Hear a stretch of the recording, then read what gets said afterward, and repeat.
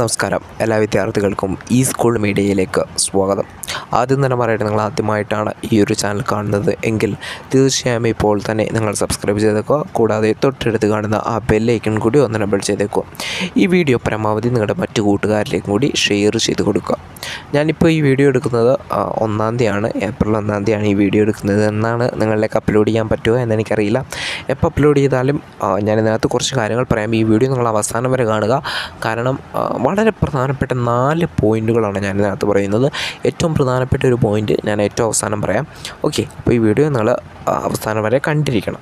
ആദ്യത്തെ പ്രധാനപ്പെട്ട പോയിന്റ് എന്ന് പറയുന്നത് നമുക്കറിയാവുന്ന പോലെ തന്നെ കഴിഞ്ഞ പ്രാവശ്യം അതായത് മോഡൽ എക്സാമിന് പല വിദ്യാർത്ഥികളും നമ്മുടെ കമന്റ് ബോക്സിൽ വന്ന് പറഞ്ഞൊരു കാര്യമാണ്.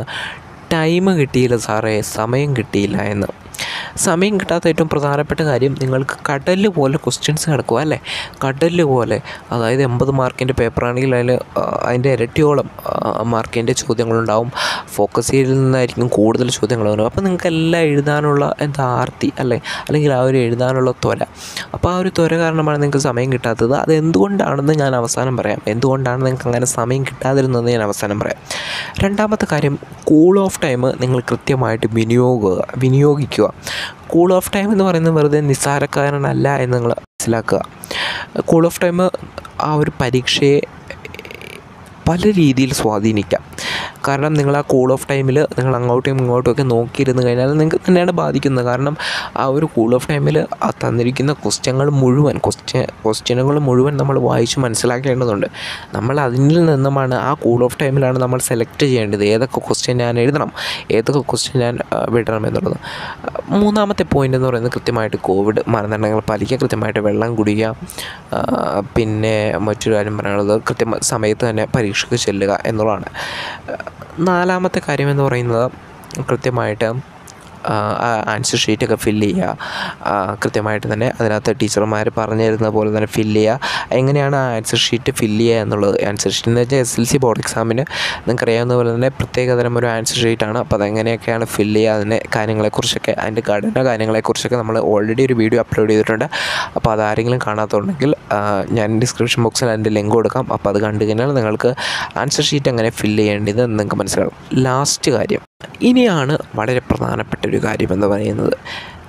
എന്തുകൊണ്ടാണ് നിങ്ങൾക്ക് കഴിഞ്ഞ പ്രാവശ്യം കഴിഞ്ഞ മോഡൽ എക്സാമിന് സമയം കിട്ടാത്തത് എന്ന് എന്ന് നിങ്ങൾ ചിന്തിച്ചിട്ടുണ്ടോ? അതിൽ ഏറ്റവും പ്രധാനപ്പെട്ട കാര്യം എന്ന് പറയുന്നത് നിങ്ങൾ കൂൾ ഓഫ് ടൈം കൃത്യമായിട്ട് വിനിയോഗിച്ചില്ല എന്നുള്ളതാണ്. നമ്മൾ കൂൾ ഓഫ് ടൈമിലാണ് നമ്മുടെ പ്ലാനൊക്കെ തയ്യാറാക്കേണ്ടത് നമ്മൾ എങ്ങനെ എഴുതണം ഏത് ക്വസ്റ്റ്യൻ എഴുതണം എത്ര മിനിറ്റ് കൊണ്ട് അതെല്ലാം തീർക്കണം. ഏറ്റവും പ്രധാനപ്പെട്ട ഒരു കാര്യം ഞാൻ പറയട്ടെ ടൈമും സ്കോറും നിങ്ങൾ കണക്കിലെടുത്ത് വേണം പരീക്ഷ എഴുതാൻ. നിങ്ങളതൊന്ന് പ്രാക്ടീസ് ചെയ്യുക. കാരണം ഇപ്പോൾ നമുക്കിനി ഏതാനും ദിവസങ്ങൾ കൂടിയുണ്ട്. അപ്പോൾ നിങ്ങൾ ഇനി എന്താ ചെയ്യേണ്ടതെന്ന് വെച്ച് കഴിഞ്ഞാൽ ക്വസ്റ്റ്യൻ പേപ്പർ നിങ്ങൾ പ്രാക്ടീസ് ചെയ്തുകൊണ്ടിരിക്കുക. ക്വസ്റ്റ്യൻ പേപ്പർ എഴുതി നിങ്ങൾ പ്രാക്ടീസ് ചെയ്യുക കൃത്യമായിട്ട് ടൈം കണക്കിലെടുക്കണം നിങ്ങൾ സ്കോറും കണക്കിലെടുക്കണം കൂൾ ഓഫ് ടൈം കൃത്യമായിട്ട് വിനിയോഗിക്കാൻ വേണം. ആ കൂൾ ഓഫ് ടൈമിൽ ഓരോ ക്വസ്റ്റ്യൻ വായിക്കുന്നതിനൊപ്പം തന്നെ ഞാൻ ഏതൊക്കെ എഴുതണം എത്ര മിനിറ്റ് കൊണ്ട് എഴുതി തീർക്കണം എങ്ങനെയൊക്കെ ഞാൻ ഇതിലൂടെ എങ്ങനെയൊക്കെ ഞാൻ എനിക്ക് എത്ര മാർക്കൊക്കെ നേടാൻ പറ്റും അല്ലെങ്കിൽ എനിക്കറിയാവുന്നതൊക്കെ എനിക്കറിയില്ലാത്തതൊക്കെ എന്നുള്ള തരം തിരിച്ച് കൃത്യമായിട്ട് മാറ്റി വെച്ച് വേണം കൃത്യമായ ഒരു പ്ലാൻ സെറ്റാക്കിയിട്ട് വേണം. കൂൾ ഓഫ് ടൈം കഴിയുമ്പോൾ പരീക്ഷ എഴുതി തുടങ്ങാൻ എന്നതാണ് ഈ ഒരു പരീക്ഷയിലെ ഏറ്റവും പ്രധാനപ്പെട്ട അല്ലെങ്കിൽ ഏറ്റവും വലിയൊരു പോയിന്റ് എല്ലാവർക്കും. അപ്പോൾ ഈ പോയിന്റ് നിങ്ങൾ കൃത്യമായിട്ട് മനസ്സിലാക്കുക കൃത്യമായിട്ട് തന്നെ പരീക്ഷ എഴുതുക എല്ലാവർക്കും എല്ലാവിധ വിജയാശംസകളും നേരുന്നു. Okay thank